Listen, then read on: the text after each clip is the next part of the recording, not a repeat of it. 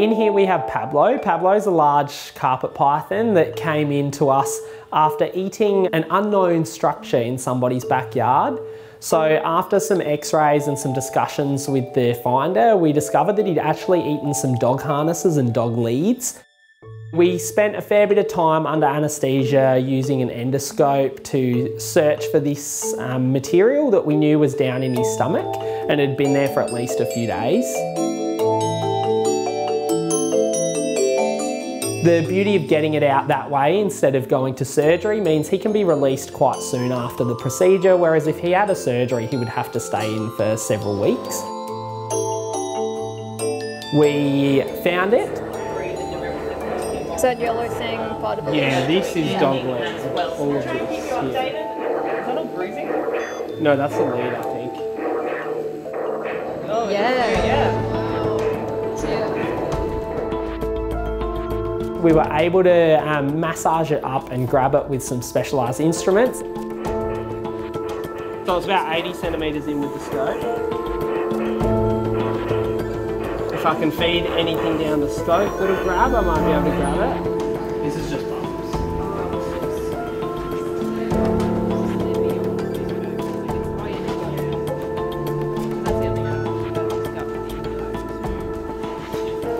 What can you feel?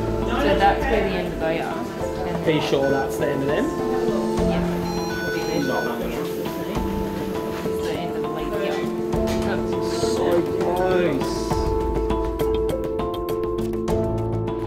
The heart so chills it.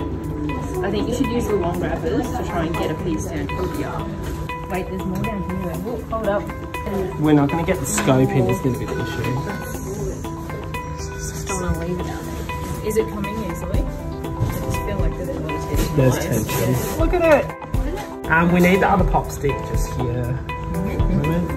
Hang on. Oops, sorry. Hang on, let's just. Wait, there's more down here. Look, hold up. It's There's a bow. And then more lead. I ate, I ate two, two harnesses. Oh, there's two. Yeah, I believe so.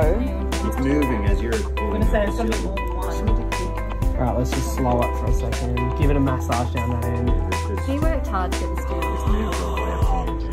That's one, but then is the other one attached? She needs to oh. see this.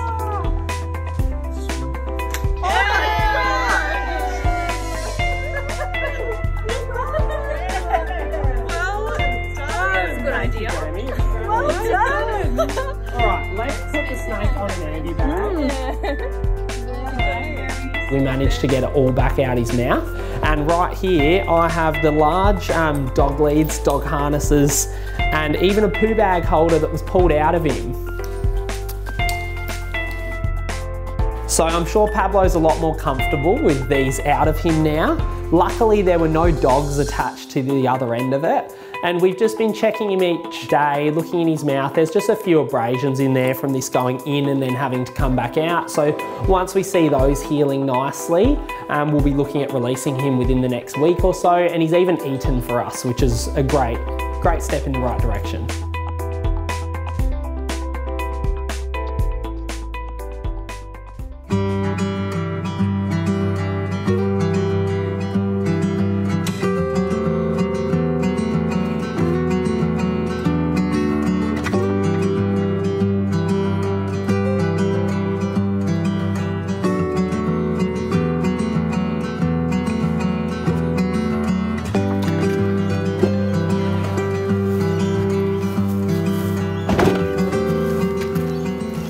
Okay, we're just at a nice quiet spot here. We're just releasing Pablo, the carpet python, who has been in the hospital for a few weeks after he ate a couple of dog leads and harnesses. So Renee and I are just letting him go today in a nice quiet spot. It's actually just around the corner from where he came from, so he, he knows the area. Um, hopefully it's quiet enough though that he can he'll stay away from dog harnesses and leads. He's also um, he's also very dark at the moment because he's getting ready to shed his skin. So when we let him go, he'll probably just go and find somewhere nice and quiet to curl up until he's ready to, to shed his skin. See, he's quite dark, his eyes are even a little bit milky. Getting to release animals is easily the best part of our job, especially when they have such a cool story as Pablo. They're all different too. Sometimes they take off really slow, sometimes it's quite fast, like he did today. Cool to see him in the water as well. You can see, as you saw today, every snake can swim, no matter what kind it is, and he just took to that water straight away and just took off. So, it was a really, really good day.